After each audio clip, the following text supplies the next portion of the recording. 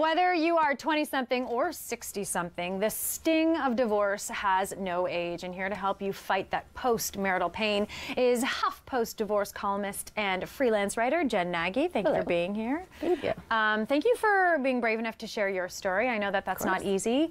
Um, but as we mentioned, it's therapeutic. It Yes. helped you move on and became the person you are today, now having your own column, which is really exciting. Um, and hopefully we can, uh, we'll put that information up on our website so people can follow you. Because I want everyone to read your stuff. I That did. would be great. yeah. Um, what I wanted to ask you is in a relationship, whether it's been two years to 20 to 50 years, Right. In your experience, when do we know it's the breaking point? Right. It's time for me to make that huge leap of saying to my partner, I think we should get a divorce. Well, I think that definitely varies depending on the person and the situation. Um, if I had to generalize, though, the time that you know that you should leave is when you've tried everything else and it hasn't worked. Um, so I think if you're contemplating getting a divorce, it's important to actually sit down and think about what the specific problems that you're having are and the reasons for the divorce. Yeah. Um, and then think about all the possible solutions you could have. So, for example, if you're just not getting along, um, it could be trying couples counseling. It could be sitting down and discussing the specific problems that you're having and seeing if you can come up with solutions and strategies to address it without having to go to getting a divorce. Right.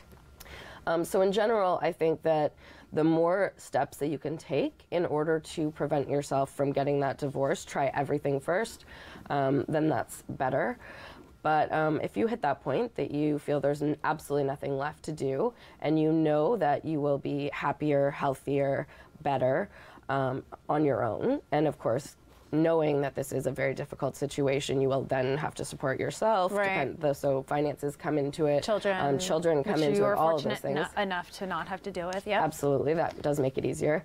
Um, so then, if you hit that point, then I think that that's exactly when you need to start thinking about it. And one interesting thing that I read in one of your columns was um, divorce equals failure. And you said just because people are together for their entire lives does not necessarily mean it's Yes. a secure, happy, successful relationship. Absolutely. They could have been miserable for the last 30 years. So, how can you get those 30 years back? You can't. Sometimes you have to make this very difficult decision. Um, once we do, how do we move on? What are those steps of recovery? Right. Well, first off, once you've got everything settled in terms of legal and the logistics of who's going to live where and all of that, that's when the healing process can really start. Right. Um, the first thing that's really, really important is to think of divorce as like any other loss, um, a death Yeah. or something like that. It's a very serious situation, and you will have a lot of pain when going through that loss. No doubt. Um, and so, grieving is a very important part of the uh, healing process. Um, you have to feel it. And unfortunately, you know, if we just um, push it aside and try to go on with our lives, jump right back into dating, distract ourselves, then it will eventually come back and hit you like a lot harder later But how down do you heal? Do you have to find you have to find your own way? Um, well, there's, I mean, it really does depend on the person, but there's different steps that I find are really useful. Um, once you've kind of gone through the grieving process, then the next thing that you need to do is find acceptance in the situation you're in right now. It may not be what you wanted, but you have to accept that this is your life, that this it. is who you are. Let's move on. Exactly. Buddy, and acceptance is the first thing that you need to do to be able to heal. Because if you are com- like always in denial that this is the situation you're in, then you'll never be able to Right. heal. So that's an, a very important, very important. And step. I and I and I read that too somewhere. Um, a lot of people kind of deny it. They trick their brains into Yes. thinking, "I can make it better. I can fix it. He will do this. She will do this," and that's generally No. not the case. No, Right. All right. So after acceptance, what do we have? Um, I think having a strong support system is really, really important. Um, if it's not something that you can have between friends and family, then there's always therapists, there's the Huffington Post divorce section, things like that. But a support system is very important because you want to feel that there are other people that have made it through this successfully. And that's that's the key. I, for Mm-hmm. me, anyways, I always say to myself, I'm not the only one going through this. Whatever it is, divorce, uh, parenting, I'm not the only one who's having a two-year-old with tantrums. you Yes, know, and it and it does lighten the load a little bit. I'm not alone. Um, what about what's next? Um, I think it's really important if you, especially if you're younger, like I was, um, to figure out who you are as a person. A lot of people, when they're coming out of a marriage, it's very difficult because your whole life has been about up to this point You a and him. we. Exactly. Yeah. We had goals, we had thoughts, we had plans, and so now it's very important to figure out who you are independently of your partner. But That's not even just if you're young. You've Yeah, absolutely. changed. You, if you're change. 50, 60, you've got to find that new you. Absolutely. Sorry, go on. What did you do? Eat, pray, love. I did do a bit of that. yes. But um, so that's very important to figure out who you are and like find out what you want in your life and what your goals are. What makes you tick? Exactly. That's a very important and so well. I want to hear your experience, You Pray, Love. so I actually solo traveled for a year. Wow. Yeah, so I went mostly around Southeast Asia. Um, so I went to um, Bali, I went to Thailand, Cambodia, Spain. So um, not very attractive landscapes No, not at all. it was freezing cold all the time.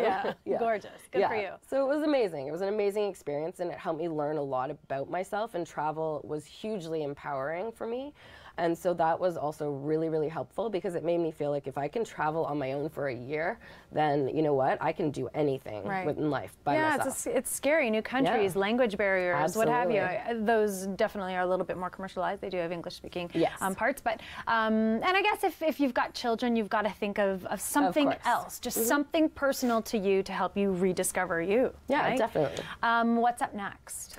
Um, after that, I think it's also really important uh, for you to find happiness. So, Yeah. I mean, happiness is something that, yes, you can get temporary happiness from something external, like, you know, a new job or a new car. But it's really important to find what makes you happy, truly happy. So, that's typically going to come from within. Um, so at that point, trying to figure out like what your passion is um, and what makes you happy is going to be really important because you want to focus on finding those things and integrating them into your life as much as possible because you need to have as many positives as you can. Definitely. And then the last thing that I think you might suggest Yeah. is Um, well, the I think the, one of the most important things um, is forgiveness. how do you do that? Dependent on the situation. Yeah. I mean, yours sounds like it was amicable, so Yes, it was a little absolutely. Mm-hmm. easier, but some people, that's a hard one. Absolutely. And that doesn't mean that you're saying that what they did to you or what you did to them is all right. Okay. But no matter what, no matter what the situation is, and it will be hard, but forgiveness is absolutely important. Yeah. Because if you do not forgive, if you hold that like anger or resentment or frustration inside, then you're not going to eventually be able to heal and move on. You need to forgive, you need to accept that this is over, this is life. You know, forgive and then start moving on. Which is a lot easier said than done, Absolutely. but necessary. Okay, we are looking at a second chance at love right after this. Stay with us.